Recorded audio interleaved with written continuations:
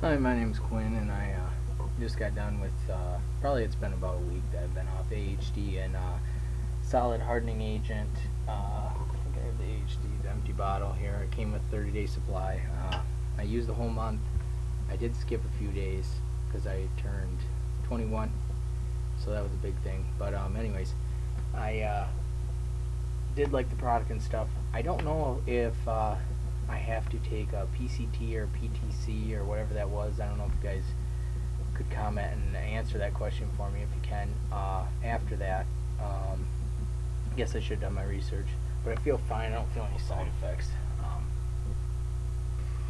I feel like I have gotten thicker, not necessarily that much larger, but um,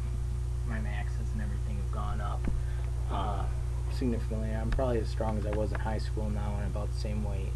Um, benching probably 325.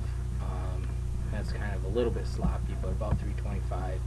And uh, 425 squat and around 5 dead. Um, I don't know. Really like the product. You guys should try it out. It's just once a day. Uh, kind of tired. Just got back from work. See you guys later.